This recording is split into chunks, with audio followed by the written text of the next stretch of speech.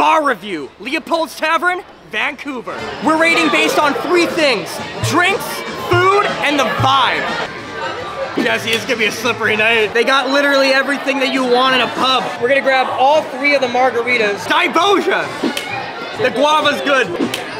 Hell yeah. Something about the lime's just like making me feel alive. What's the drink counter at? Why did we pick the smallest table in the building, boys? It was the only available. I think we're on drink like seven. The marks were doubles. The chefs are also doubles. Update that drink counter. I think I might learn how to hit the griddy tonight. Bone apple teeth. Let's go deep. Wings are bussin'. 10 out of 10. A literal dance legend. Correct. Here we go. Up, up, down, down.